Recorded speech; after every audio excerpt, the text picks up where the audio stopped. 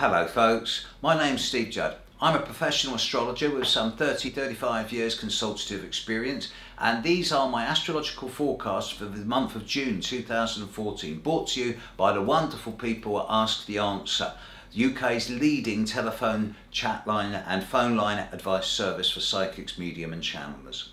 Enjoy your forecasts. And this is the astrological forecast for the sign of Virgo for June 2014.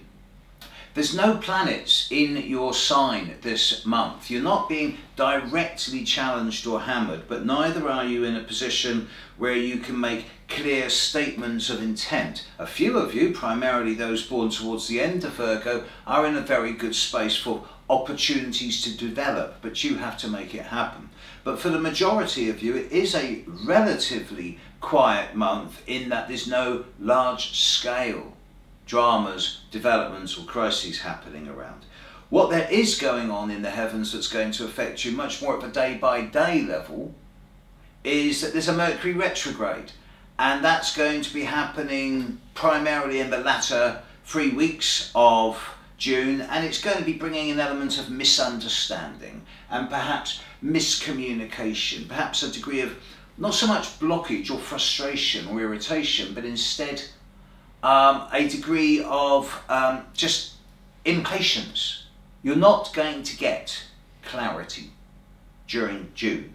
You're not going to be able to get clear, unequivocal answers. Instead, you're going to have to filter information as it comes in for authenticity, and as a result, only as you get towards the end of the month and even the start of July are you going to be able to safely start being able to gather information, bits of paper, feelings and emotions together and make clear decisions about the more day-to-day -day routine things in life such as home and family, um, residence or, or professional situations, career etc.